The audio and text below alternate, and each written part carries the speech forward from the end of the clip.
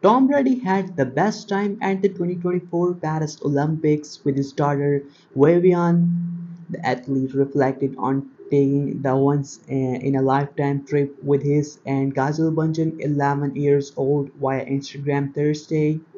While the three days in France went above and beyond the, what he could ever have imagined, Brady called it especially meaningful with Vivian at his side we watched the most powerful woman I have ever seen fight for gold, silver, and bronze, he wrote.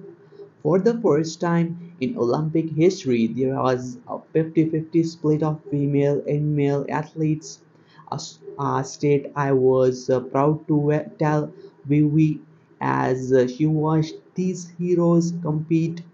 The former NFL player, who concluded his lengthy caption by praising sports for bringing out the best in people and urging his followers to aspire to do hard things.